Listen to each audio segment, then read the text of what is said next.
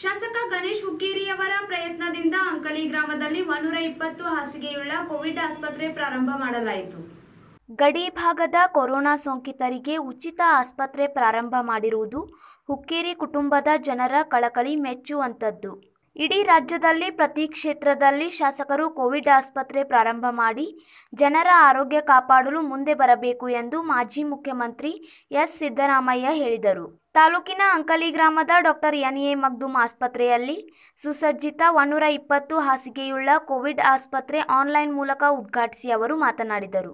ಗಡಿ ಭಾಗದ ಜನರಿಗೋಸ್ಕರ ಕೋವಿಡ್ ಸೋಂಕಿತರಿಗೆ ಉಚಿತ ಚಿಕಿತ್ಸೆ ನೀಡಲು ಪ್ರಾರಂಭ ಮಾಡಿದ್ದು, ಅವರಿಗಿರುವ ಜನರ ಕಳಕಳಿ ಮೆಚ್ಚುವಂಥದ್ದು. ರಾಜ್ಯದ ಬೇರೆ ಕ್ಷೇತ್ರದಲ್ಲಿ ಈ ತರಹ ಆಸ್ಪತ್ರೆ ಮಾಡಬೇಕು. ಕೊರೋನಾ ಹೆಚ್ಚಳವಾಗುತ್ತಿದೆ. ಸರ್ಕಾರಿ ಖಾಸಗಿ ಆಸ್ಪತ್ರೆಯಲ್ಲಿ ಬೆಡ್ ಆಕ್ಸಿಜನ್ ಸಿಗುತ್ತಿಲ್ಲ. ಇಂತಹ ಸಮಯದಲ್ಲಿ ಹುಕ್ಕೇರಿ ಕುಟುಂಬ ಆಸ್ಪತ್ರೆ ತೆಗೆದಿರುವುದು ಅನುಕೂಲವಾಗುತ್ತಿದೆ. ಸಂತೋಷದಿಂದ ಉದ್ಘಾಟನೆ ಮಾಡಲಾಗಿದೆ.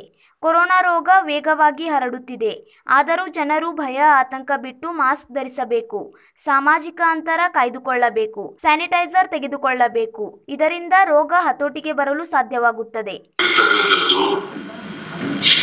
ಪ್ರಕಾಶ್ ಮತ್ತು ಗಣೇಶ್ ಅವರ ಪ್ರಯತ್ನದಿಂದ ಅವರು ಅವರ ಕ್ಷೇತ್ರದ ಆರ್ಥಿಕವಾಗಿ ದುರ್ಬಲವಾದ ಜನರಿಗೆ ಉಚಿತವಾಗಿ ಚಿಕಿತ್ಸೆಯನ್ನ ನೀಡಬೇಕು ಅಂತೇಳಿ ಇಂಥ ಒಂದು ಸುಸಜ್ಜಿತವಾದಂತಹ ಆಸ್ಪತ್ರೆಯನ್ನ ಪ್ರಾರಂಭ ಮಾಡಿದ್ದಾರೆ ಇದು ಒಂದು ಶ್ಲಾಘನೀಯವಾದಂತ ಕೆಲಸ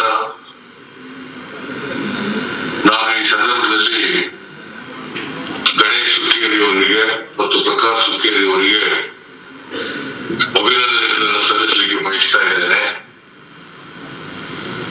ಬೇರೆ ಕ್ಷೇತ್ರಗಳಲ್ಲಿ ಕೂಡ ಇಂಥದೇ ಪ್ರಯತ್ನಗಳನ್ನ ಶಾಸಕರುಗಳು ಮಾಡಲಿ ಅಂತೇಳಿ ನಾನು ಆಶಿಸ್ತೇನೆ. ಕೆಪಿಸಿಸಿ ಕಾರ್ಯಾಧ್ಯಕ್ಷ ಸತೀಶ್ ಜಾರಕಿಹೊಳಿ ಮಾತನಾಡಿ, ಕೋವಿಡ್ ಸೋಂಕಿತರಿಗೆ ಚಿಕಿತ್ಸೆ ನೀಡಲು ಅವಕಾಶ ನೀಡಿದ್ದಾರೆ. ಸ್ಥಳೀಯ ಶಾಸಕರು ನೆರವು ನೀಡಿದ್ದಾರೆ. ಕಳೆದ ವರ್ಷ ಕೂಡ ಕೋವಿಡ್ ಆಸ್ಪತ್ರೆ ತೆಗೆದು ಅನುಕೂಲ ಕಲ್ಪಿಸಿದ್ದರು. ಎಲ್ಲರೂ ಬೆಳಗಾವಿಗೆ ಹೋಗಲು ಸಾಧ್ಯವಾಗುವುದಿಲ್ಲ. ಗ್ರಾಮೀಣ ಭಾಗದಲ್ಲಿ ಆಸ್ಪತ್ರೆ ತೆಗೆದಿರುವುದು ಅನುಕೂಲವಾಗಿದೆ. ಬಡ ಜನರಿಗೆ ಸೌಲಭ್ಯ ಸಿಗಬೇಕು. ಇದು ರಾಜ್ಯದಲ್ಲಿ ಮಾದರಿಯಾಗಬೇಕು ಎಂದರು.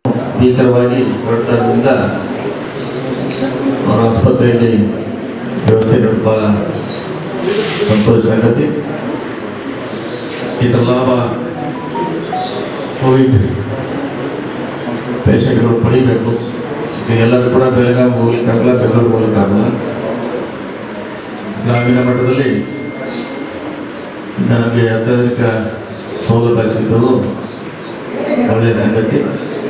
ವಿಶೇಷವಾಗಿ ನಾನು ಮತ್ತೊಮ್ಮೆ ಮಧುಕರ್ ದಂಪತಿಗಳಿಗೆ ದೇವರು ನೀಡಿದಂಥ ಗಣೇಶ್ ಅವರಿಗೆ, ಪ್ರಕಾಶ್ ಹುಕ್ಕೇರಿ ಅವರಿಗೆ ಅಭಿನಂದನೆ ಸಲ್ಲಿಸ್ತಾ ಮಾಜಿ ಸಂಸದ ಪ್ರಕಾಶ್ ಹುಕ್ಕೇರಿ ಮಾತನಾಡಿ, ಕಳೆದ ವರ್ಷ ಇಪ್ಪತ್ತು ಬೆಡ್ಗಳ ಆಸ್ಪತ್ರೆ ಮಾಡಲಾಗಿತ್ತು.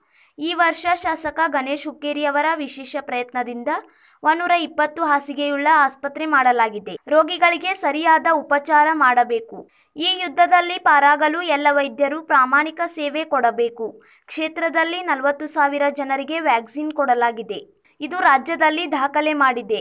ಎಕ್ಸಂಬ ಆಸ್ಪತ್ರೆಯಲ್ಲಿ ಇಪ್ಪತ್ತು ಬೆಡ್ಗಳ ಆಸ್ಪತ್ರೆ ಪ್ರಾರಂಭ ಮಾಡಲಾಗುತ್ತದೆ. ಜನರ ಆರೋಗ್ಯ ಕಾಪಾಡಲು ಸಂಪೂರ್ಣ ಸಹಕಾರ ಕೊಡಲಾಗುತ್ತದೆ ಎಂದರು.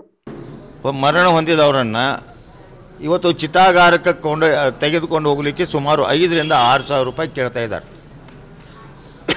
ಯಾರು? ವಾಹನ, ವಾಹನದವರು ಐದರಿಂದ ಆರು ಸಾವಿರ ರೂಪಾಯಿ ಕೇಳ್ತಾ ಇದ್ದಾರೆ. ಅದಕ್ಕೆ ನಾನು ಈಗಾಗಲೇ ಸಿದ್ದರಾಮಯ್ಯವ್ರ ಜೋಡಿ ಮಾತಾಡಿ ಒಂದು ಇಪ್ಪತ್ತು ಲಕ್ಷ ರೂಪಾಯಿಯನ್ನು ನಾವು ಕೆ ಪಿ ಸಿ ಸಿ ಕ ಇವತ್ತು ಅನ್ನಪೂರ್ಣೇಶ್ವರಿ ಫೌಂಡೇಶನ್ನಿಂದ ಕಟ್ತೀವಿ ನಾವು.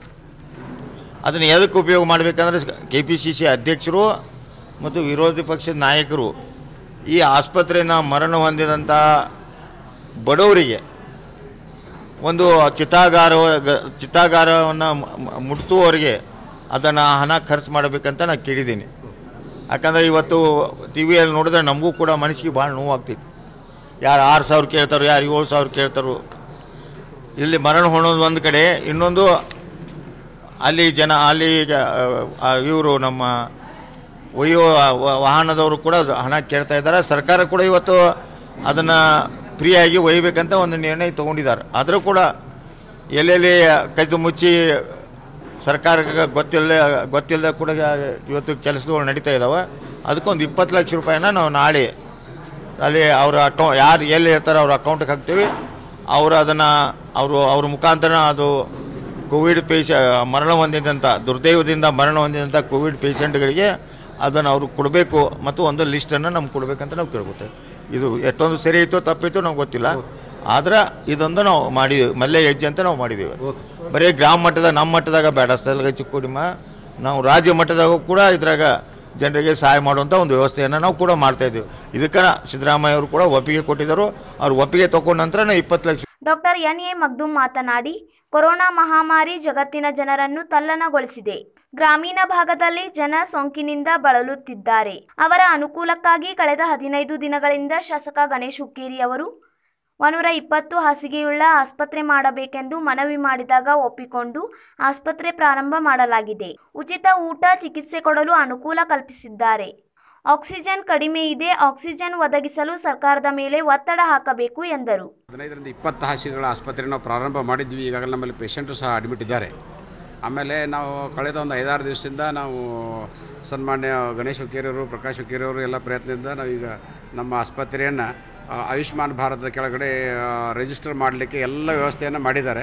ಇನ್ನೊಂದು ಎರಡು ಮೂರು ದಿವಸಗಳಲ್ಲಿ ಆಯುಷ್ಮಾನ್ ಭಾರತದಲ್ಲಿ ವ್ಯವಸ್ಥೆಯಲ್ಲಿ ಬಂದರೆ ಅದರದ್ದು ನಾವು ಎಲ್ಲ ಜನರಿಗೆ ಈ ಭಾಗದ ಜನರಿಗೆ ಪಡಿತರ ಚೀಟಿ ಕಾ- ಕಾರ್ಡ್ ಇರ್ಬೋದು ಅಥವಾ ಹಳದಿ ಕಾರ್ಡ್ ಇರ್ಬೋದು ಆಯುಷ್ಮಾನ್ ಭಾರತದ ಕಾರ್ಡ್ ಇರ್ಬೋದು ಅಂಥವರಿಗೆ ಎಲ್ಲ ಚಿಕಿತ್ಸೆಯನ್ನು ಉಚಿತವಾಗಿ ಮಾಡೋದು ವ್ಯವಸ್ಥೆಯನ್ನು ಮಾಡ್ಕೊಂಡಿದ್ದೀವಿ. ಅಲ್ಲಿಂದ ನಾವು ಎಷ್ಟು ಜನ ನಮ್ಮಲ್ಲಿ ಇರ್ತಾರಲ್ಲ ಅಷ್ಟು ಜನರಿಗೆ ನಾವು ಅದು ವ್ಯವಸ್ಥೆಯನ್ನು ಅಧ್ಯಕ್ಷತೆ ವಹಿಸಿದ್ದ ಶಾಸಕ ಗಣೇಶ್ ಹುಕ್ಕೇರಿ ಮಾತನಾಡಿದರು. ಪ್ರಯತ್ನ ಮಾಡಿ ನಮ್ಮ ಅನ್ನಪೂರ್ಣೇಶ್ವರಿ ಫೌಂಡೇಶನ್ದಿಂದ ಇಲ್ಲಿ ಯಾರ್ಯಾರು ಅಡ್ಮಿಟ್ ಆಗ್ತಾರೆ ನೇರವಾಗಿ ಅವ್ರದ ಊಟದ ವ್ಯವಸ್ಥೆ ಆಗಲಿ ತಿಂಡಿ ವ್ಯವಸ್ಥೆ ಆಗಲಿ ಅದು ಏನು ಖರ್ಚು ಬರ್ತಿದ್ದು ನಮ್ಮ ಫೌಂಡೇಶನ್ದಾಗ ಚಿಕಿತ್ಸೆ ಸರ್? ಚಿಕಿತ್ಸೆ ಹಾಸ್ಪಿಟಲ್ ಅದು ಫ್ರೀ ಇಲ್ಲ ಫ್ರೀ ಇಲ್ಲ. ಅದಕ್ಕೆ ಈಗಾಗಲೇ ಅವರು ಆಯುಷ್ಮಾನ್ ಭಾರತಿಗೆ ಈಗಾಗಲೇ ಅವರು ಅರ್ಜಿಯನ್ನು ಕೊಟ್ಟಿದ್ದಾರೆ. ಬಹುತೇಕ ಒಂದು ಎರಡು ಮೂರು ದಿವಸದಲ್ಲಿ ಕ್ಲಿಯರ್ ಆದಮೇಲೆ ಅವ್ರ ಹಾಸ್ಪಿಟಲ್ದವ್ರು ತಂದು ಜವಾಬ್ದಾರಿ ಆಯುಷ್ಮಾನ್. ಆಯುಷ್ಮಾನ್ ಕ್ಲೇಮ್ ಮಾಡ್ಬೋದು.